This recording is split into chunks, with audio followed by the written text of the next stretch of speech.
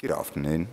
Thank you for coming along. Um, uh, I hope you've enjoyed the rest of the fair. Uh, now for something completely new, something you won't have seen before and probably 10 years ago couldn't even imagine existing. The idea of uh, atomic clock that you can take with you. This is something I, you know, until I heard about it, was assumed the sole preserve of, you know, places like NPL at Teddington. So uh, Richard uh, Hoptroff is going to lead you through the story. Um, so Richard, uh, come on, come on up, and I hope you enjoy the talk. Thank you.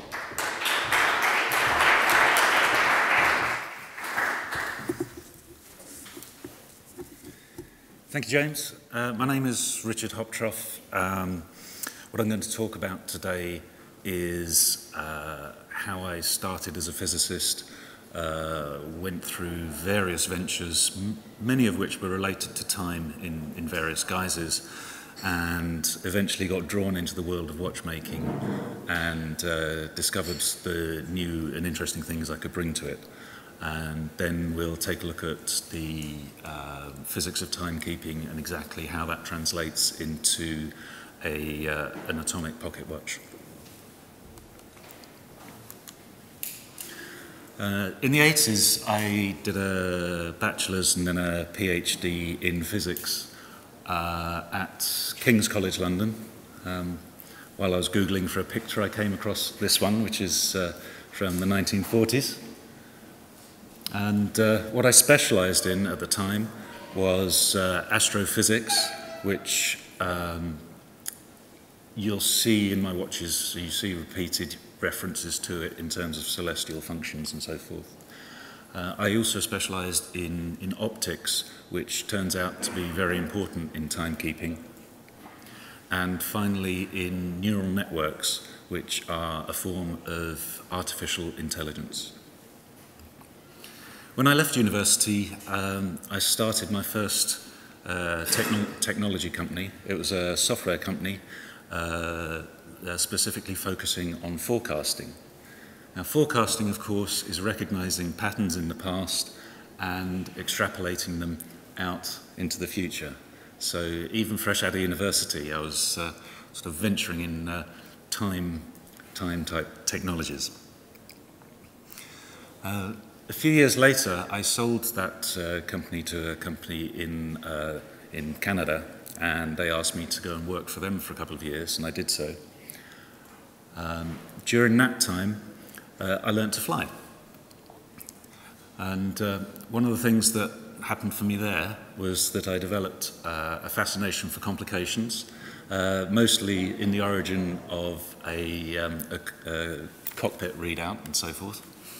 Um, the, my aviation career, if you like, uh, was stopped by this chappie um, who crawled into my pitot tube and once when I was taking off, I was accelerating up the runway, uh, but the airspeed indicator was not going above 50 miles an hour. So by the time I realized something was going wrong, um, I put on the brakes and did what the tower described as a real smoker of a stop, uh, ending up in the long grass off the end of the runway. And so I decided that after that, um, I think uh, uh, flying planes should be left to the professionals. However, the one legacy that that has left me with is uh, a fascination for watchmaking. Before learning to fly, I never wore a watch. Um, you're required to as a pilot, so I started wearing one and getting interested in them. Uh, at the time, nobody to told me which wrist to put it on, so I, even though I'm right-handed, I, I put my watch on my right wrist. Uh, which has al always led me to a fascination of making products for left-handed people. One of our patents is to do with the ability to put a case on uh, either way up. So for a left-handed person, you simply put the case on the other way up and the buttons um, appear on the other side. Going on from there, I, I really got fascinated with uh, watchmaking, uh, particularly dial design, So I came up with all sorts of uh, complicated designs. Uh, the problem with this, though, was that I really had no way I could possibly uh, realize these uh, for real. I certainly had no advantage over any other watchmaker. Uh, so that was kind of on the shelf for a while. Um, and I, I took up a few things. I needed to get back to uh, Europe, so um, I sailed back, and during that time, in a 39 foot Santana, um, during that time, uh, we hit a gale uh, just out of uh, Bermuda, and uh, we did a lot of damage to the boat, including um, the, uh, losing the autopilot. So we all had to be at the helm for six hours a day. Uh, and the electrics became very dodgy, uh, not always working at all. So as a result, we had to dust down the sextant and make sure that we would always be able to navigate with respect to the stars and knowing the exact time uh, as a backup because potentially we would need this uh, for marine navigation. And again, you'll see later on how elements of that are included in the number 10. At, in uh, 2001, I did a postdoc at Oxford in archaeology, um, actually dating the age of buildings. Uh, the way I did it is that um, when you uh, when cosmic rays hit quartz, they excite atoms up to a certain level, and then when they're exposed to light, um, they give off um, a, a, a a, a photon of light also.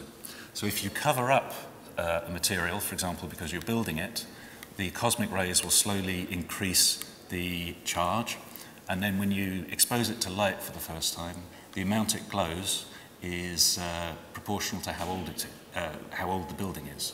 So here we've gone again, this time I'm using optics to actually apply it not to the future, but to the, the past. Some of the things we've tried to date with that were the uh, Nazca lines in Peru. We got so-so results with that. Uh, the pyramids in Egypt to try and date the order in which they were built. Uh, we got good results with that. But the best results we got were in, um, in Israel, uh, dating the age of David's city, uh, proving that there was certainly a city around in Bronze Age times when David would have founded it and also at Qumran, where the scrolls were found, we also proved that they were the, the, the, the age they were expected to be. I then decided to do some watchmaking, or rather clockmaking. Uh, I designed this clock. Uh, it was built for me by Thwaites and Reed, a uh, UK uh, watchmaking company. It has uh, quite a few complications on it, at the top we have two counter-rotating celestial dials. On the uh, left we have a tellurium, so there's an Earth that rotates uh, once every 24 hours, and beyond that a, a tidal indicator and a moon position indicator. Here we have an annual wheel that rotates once a year, and you can put uh, indications on it such as uh, sunrise and sunset that can be localized. And then at the bottom, uh, is a entire month calendar. So uh, not only does this hoop indicate the uh, current date, but also you can see the day of the, the every, every date in the, uh, in the year, sorry, in the month. There's a side view of it, so you can see it was composed of uh, four different plates. Um, it's, it's my only purely mechanical timepiece. But then I got frustrated and ne needed to earn some more money, so I put the timekeeping aside for a little while um, and started a Bluetooth business. And um, if, I don't know if you're aware, but our watches are Bluetooth uh, enabled. And one of the reasons for this is uh, Hoptroff's sister company actually makes the Bluetooth units. Um, we also make uh, USB chips as well. And then suddenly, in around 2010, uh, two big changes happened. Firstly, um, silicon chips started to be able to run at such low powers that you could do sophisticated calculations uh, powered from a coin cell. Secondly, very, very small stepper motors became available. Uh, inside each of those are two, two coils, um, a stator unit, and uh, a gear train uh, gearing down the, the positions to be able to move quite a heavy pointer. And uh, these are, um, you can arrange them like Lego almost to give you quite a, a rich degree of um, innovation in dial design. So where we are today, um, the core design team is three of us. Uh, I head it up and uh, decide what we make, why we make it, and so forth. Um, I, I throw the equations at Mike, who then works out how to program in all of this into the microcontrollers. And uh, design director Sarah actually then goes ahead and works out how to make it look beautiful and um, how to package it and thinks through what the customer experience is, is actually like. Beyond that, we've, uh, we've come to rely on many, many people um, who've been able to help us. Uh, people from Tidal consultants to goldsmiths. Uh, I will pick out, uh, in particular, special thanks to uh, Simon Michlmayr of uh, Meridian, who's been tremendously helpful in guiding me through some of the basics of, of watchmaking. Uh, this is where we're based, in Clink Street in, uh, in London. Uh, it's where the phrase in the clink comes from, uh, because uh, we're on the site of the old clink prison. Uh, here's a picture of it from uh, just after the war. You can see that it's, um, it's a, these are wharf buildings, and the ones on this side are, uh, go straight onto the river. They used to have bridges that come across to the ones on our side. So our design philosophy, although we have very sophisticated electronics, uh, we want a very sleek, traditional look on the outside. Um, we put on all, all of our watches uh, Londini invenit et fecit, which is Latin for made and designed in London. Uh, it's something that's been a very traditional thing of watchmakers in the UK for a long time. This, for example, is a Knibb clock from uh, the 1700s, I think, or 1600s maybe. Our manufacturing techniques are very different to conventional watchmakers. Uh, the movements are made by ourselves. Um, instead of having a, a, a plate on which we build things up, uh, we use a backbone, which is a circuit board. Uh, we then put motors and a protective case on them. Uh, we've had to learn how to make our own dials because we've had uh, design, uh, sorry, we, we've had uh, supply problems with the Swiss. So this is the first dial we ever made. They're made by uh, acid etching brass, then covering it with uh, UV enamel, and then uh, printing with an offset litho to get very, very fine line work. Um, we've pioneered laser sintering, which is a type of 3D uh, printing for metals. Uh, this was the first uh, laser sintered case ever made. Uh, it was done in steel. You can see the quality isn't particularly very good. It's very pocked. And it's taken us the last year to per perfect this to uh, a level that's commercially acceptable. Uh, this is a, a gold case where it's come straight out of the machine and here after it's polished up And you can see the way those columns are, uh, you just can't achieve that with any other technique. You couldn't do it by milling, for example. Laser sintering has its limits. So, for example, this case for the number 10 um, is milled uh, because we couldn't quite get it right in time. Uh, so we still use a, a mix of traditional techniques as well. Some things we can't achieve in this country Uh, most of it is British, but uh, we have to confess that uh, the hands are Swiss. So just going through a number of our watches, uh, the number 11 uh, has an indication for the date um, and seconds. And this is a pendulum style second, so it takes 30 seconds to go one way, then it reverses and goes the other. And it's a nice, simple, classic design, uh, but with the Bluetooth connection, it can be a perpetual calendar, uh, automatically updates for uh, if you change your time zone and for daylight savings time. Uh, the number eight uh, has seconds and an appointment reminder. So this is the time of your next appointment, and this is the first uh, letter of the diary entry. It gets this information from the calendar in your phone automatically. The number nine, uh, which is uh, causing the most interest amongst the watches, uh, has seconds as an indication and date. And then at the bottom, we have a share price indication. So at the top, we have 10% price swing up, at the bottom, 10% price swing down, and you can select which actual stock uh, from your mobile phone.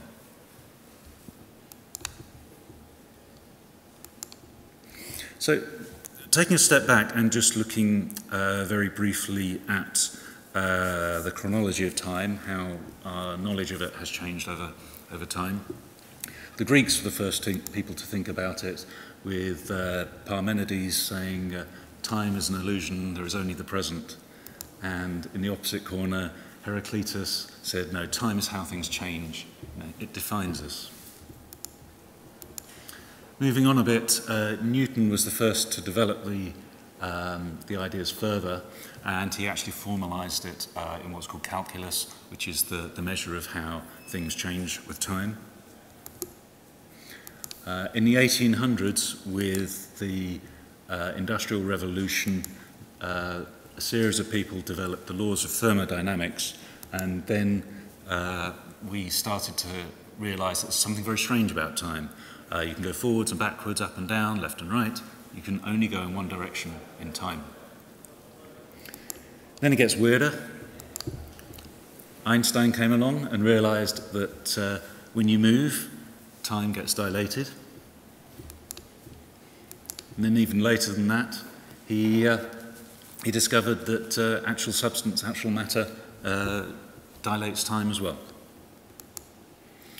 And where are we today? Well, on, in the one corner is uh, our Wheeler and DeWitt, and they say, just as Parmenides did, time is an illusion, there is only the present.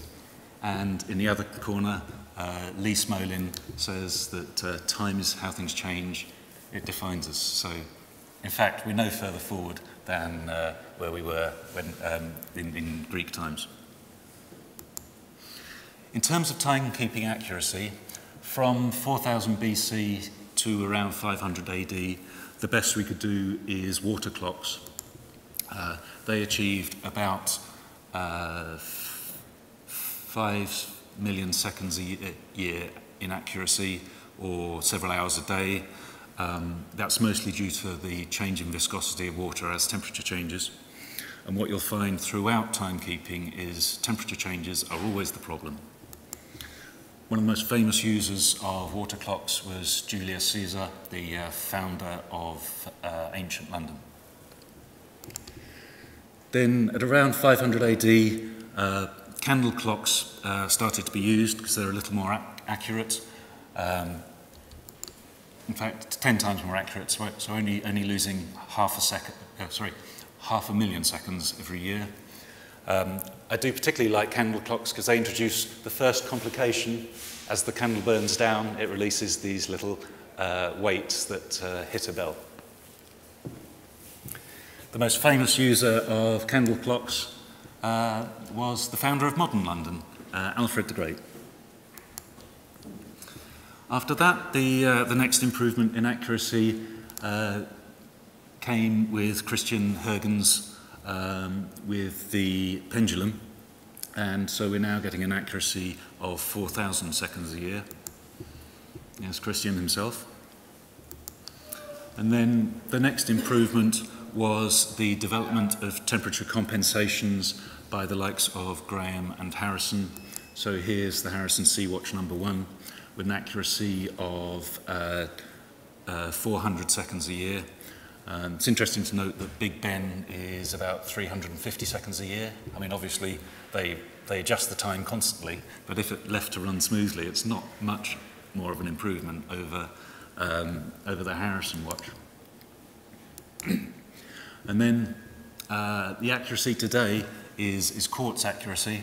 This is, um, this is my favorite, uh, one of my favorite timepieces. This is uh, when I bought at auction. It used to be uh, George Daniels. It was his only uh, digital watch. He didn't make it himself, but uh, and that has an accuracy. Well, this one doesn't have, have quite that accuracy, but the most accurate ones are about five seconds uh, per, per year, and they have temperature compensation. And they were invented by, uh, I've forgotten his first name, Mr. Cody, um, in Bell Labs in the States.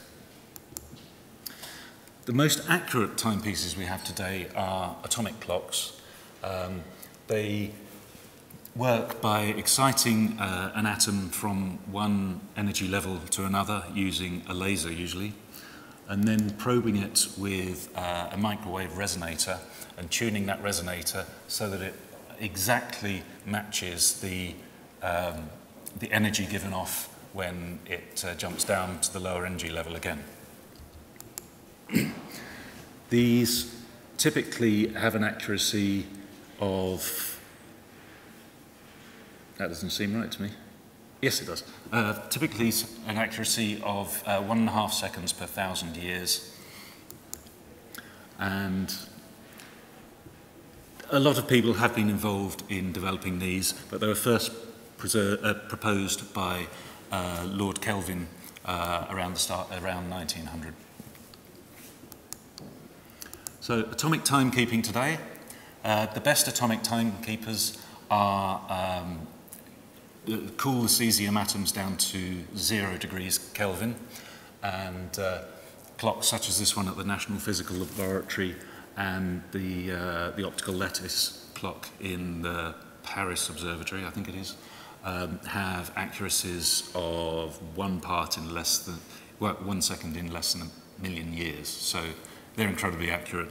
Uh, they achieve better than us because we uh, can't get down to absolute zero.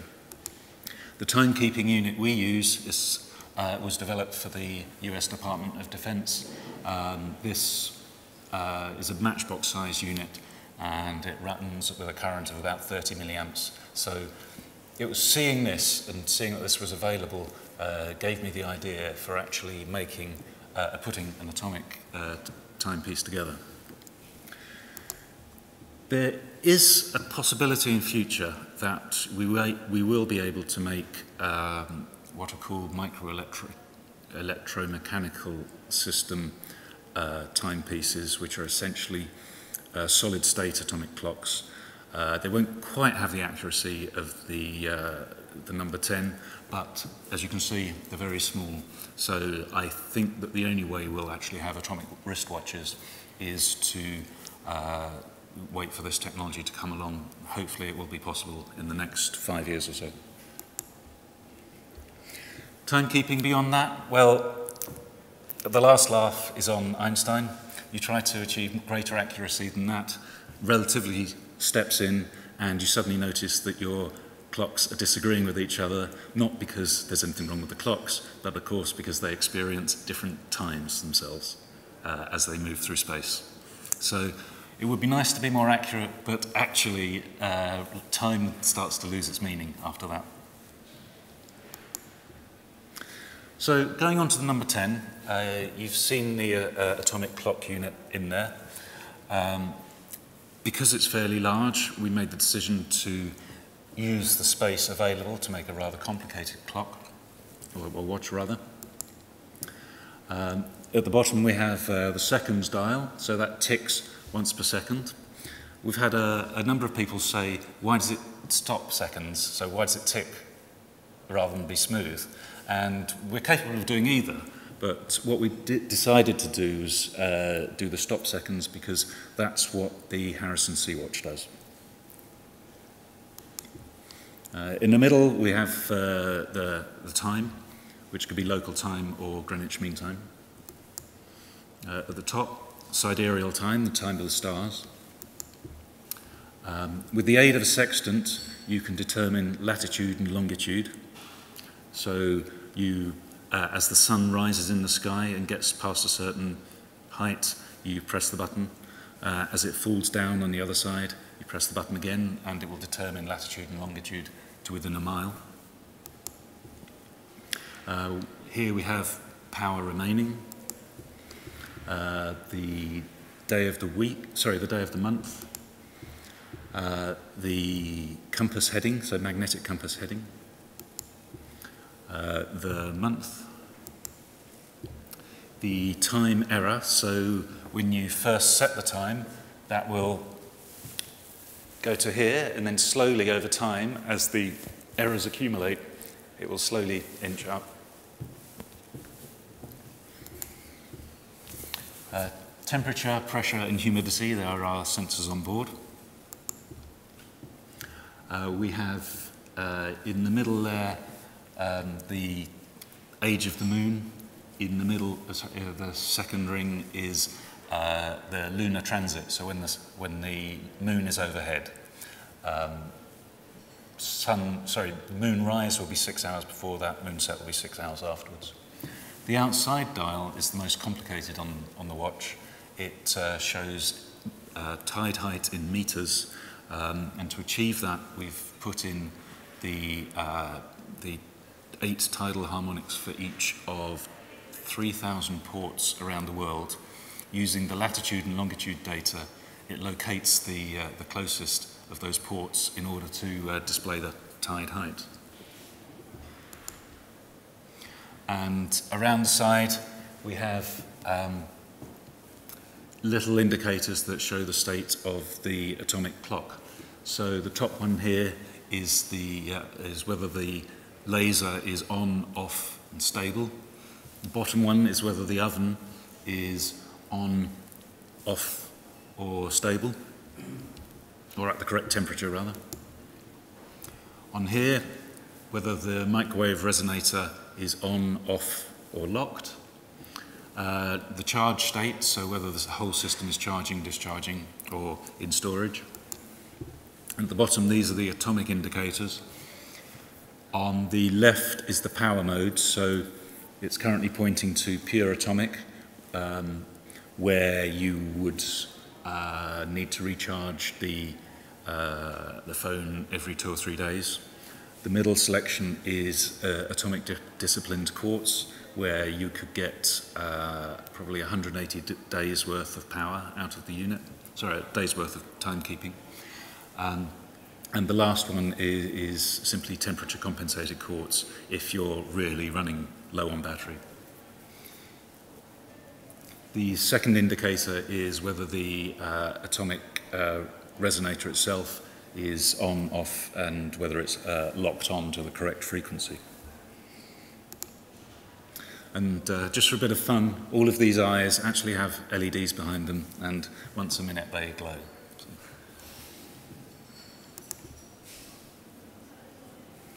So there you have it. It's, um, it's been a crazy, stupid project to take on. It's uh, set back the launch of our company by over a year. Um, and it's certainly by far the most complicated thing I've ever designed. But uh, judging by the reception we've had today, it's, it's been absolutely worth it.